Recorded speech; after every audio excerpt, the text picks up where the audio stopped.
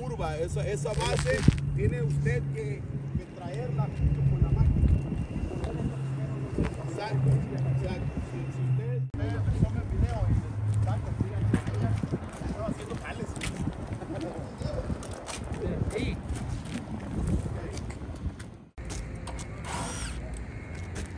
Dice que a lo mejor ya se les olvidó, pero se los voy a recordar. Ok. La máquina cuando viene y la mandan directamente, viene con este tipo de filtros que está aquí. ¿ok?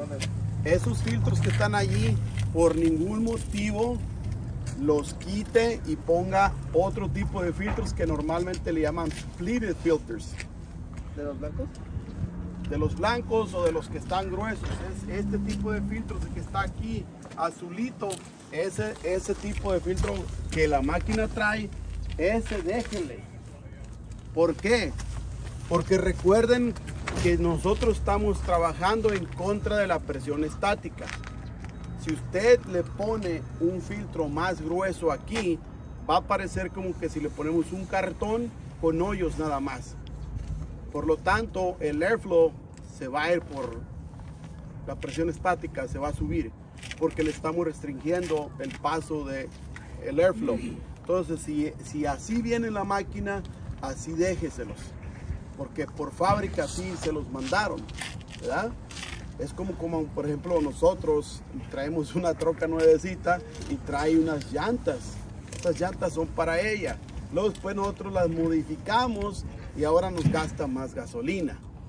Entonces, esto al modificarle, cambiarle los, los, los filtros más gruesos, va a hacer que el airflow esté la presión estática por las nubes. Así que, ¿qué es lo que hay que mirar aquí? Pues miren, este tipo de, de condensador que está aquí, a este condensador nosotros le llamamos micro channel, micro channel condenser. No es el convencional que normalmente vea usted que lleva cobre adentro y luego aluminio, una mezcla de los dos. No, este es de alta eficiencia y es de puro aluminio. Haz de cuenta como si fuera un rayador de los carros. Haz de cuenta.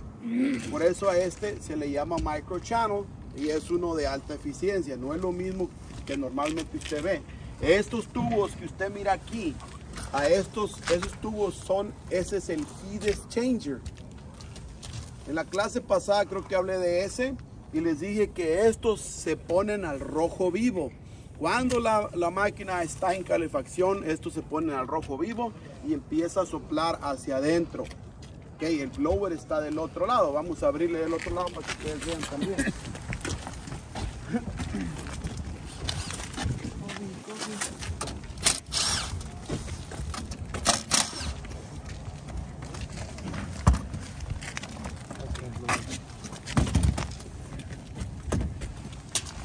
Estos filtros, recuerden, cuando se ponen los filtros, siempre llevan una flechita. Esta flechita tiene que ir en contra del coil. Ok, si lo miran aquí, vean cómo se puede ver con él. ¿Por qué? Porque no va a tener resistencia al airflow. ¿Y eso es cada cuándo los cambias? Este se tiene que cambiar cada mes. Entonces, Entonces- cuando lo reemplazamos, tiene que ser mismo. De igualito. Ahora, mucha gente dice, ay, tus filtros no duran y van y le compran los pleated filters. Pues esos pleated filters te va a levantar la presión estática hasta las nubes, arriba. ¿Por qué? Porque ahora va a tener menos airflow. ¿Ok? Por ¿Este tipo de filtro también es recomendable para el residencial? ¿O no más para.? Sí, sí, claro. Sí, sí, es para, es para residencial también. Ahora, la máquina viene con diferentes sensores porque son máquinas de alta eficiencia. Eh, lo importante es que usted, usted aprenda cada uno de sus componentes. Allá adentro, en, en- allá en la escuela, nosotros les estamos hablando de, de- de las máquinas, pero también yo quiero que vean lo que hay que ver aquí en lo que trae una máquina de paquete. Recuerden, la máquina de paquete es aquella que trae todo integrado, ¿verdad? Entonces, en un lado trae lo que nosotros le llamamos la calefacción y en el otro lado tenemos lo que nosotros le llamamos el aire acondicionado. Ok, aquí todo este circuito, este circuito le corresponde al puro aire acondicionado. Nótense que aquí tiene un TXV. ¿Se acuerdan? El TXV. Luego después del TXV tenemos este que está aquí. ¿Cómo se llama ese? ¿Recuerdan el nombre de ese? Este, después de este, entra ya al coil. ¿Cómo se llama ese? El distribuidor. Es el que distribuye a cada uno de los circuitos. Cada uno de estos le pertenece a un circuito. Cada uno de estos. ¿Por qué? La máquina es una máquina grande, necesita los coils que cada uno tenga su propio circuito. Y por eso del TXV sale esta cosa de aquí que distribuye a cada uno de los circuitos. Y este le tiene que dar todo. Normalmente estas máquinas de paquete vienen cargadas de fábrica. No necesita usted cargarlas. Ya vienen cargadas.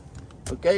Al menos que cuando usted las le vaya a checar antes de arrancarla y si la máquina no está trabajando, pues hay que meterle los gauges y ver si la máquina trae refrigerante. Pero muchas de las veces vienen con fugas.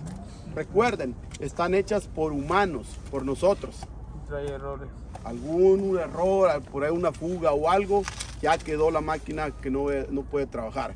Ahora, esta máquina es una máquina que trae el blower y a esta máquina lo mueve el blower un motor trifásico. ¿Recuerdan las calculaciones que hemos hecho en la, en la clase? Se tiene que hacer la calculación del blower también. Una, una, una, ahorita en este momento la banda viene apretada como debe de ser. Luego con el tiempo la banda se desgasta y se va a aflojar. Usted cuando la cambie tiene que dejar el motor trabajando al mismo amperaje con el que estaba trabajando desde un principio. Y por eso tiene que llevar un ajuste la banda. ¿okay? Esta banda de aquí, ¿okay? esta banda tiene un ajuste y el motor se puede ajustar ya sea para allá o para acá. Tiene, tiene aquí la base donde se puede deslizar para allá o para acá. Para poder ajustar, ajustar la banda. Otra cosa, el pulley de acá, el pulley de acá, normalmente no se cambia, al menos que se haya dañado lo de adentro, que nosotros le llamamos el squirrel cage, así se llama, squirrel cage blower. Es un, es un soplador que trae la rueda como que si fuera, como si fuera una ruedita donde, donde corren las, las ratitas o los, ¿cómo les llaman? Los hamsters. Exacto. Entonces de ahí se agarró esa palabra, es un squirrel cage.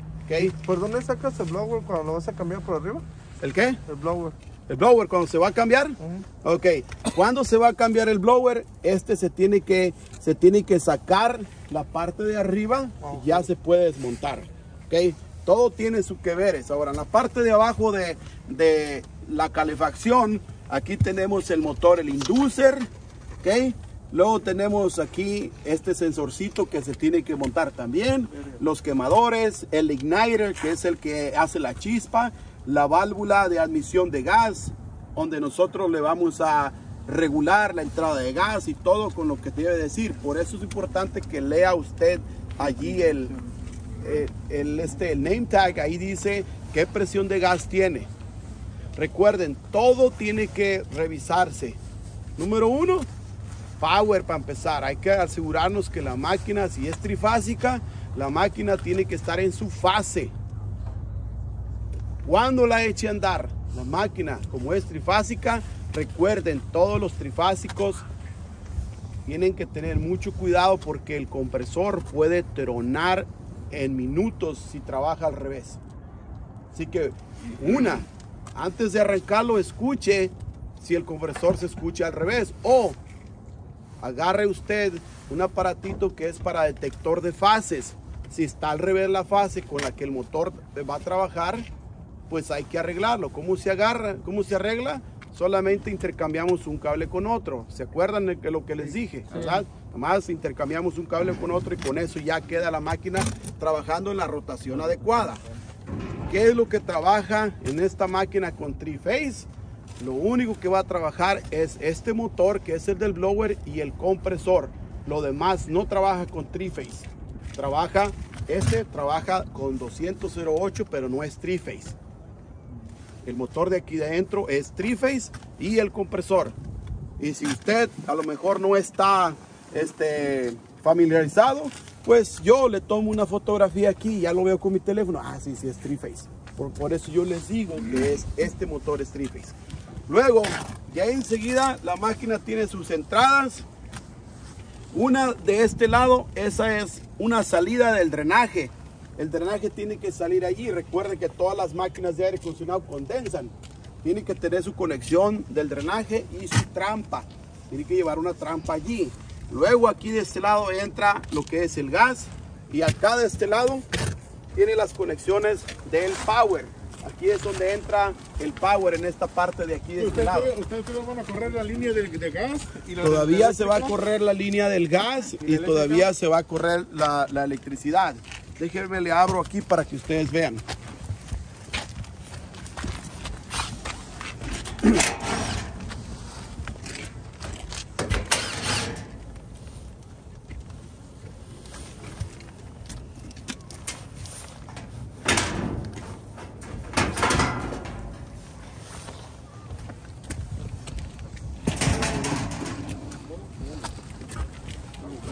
La máquina esta.